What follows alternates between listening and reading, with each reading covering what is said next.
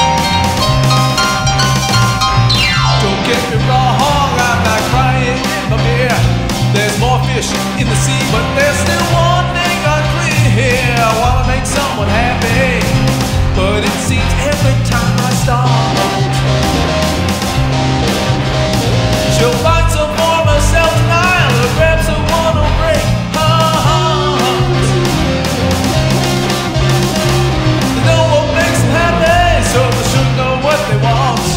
They give you 50 reasons why they don't like what they got.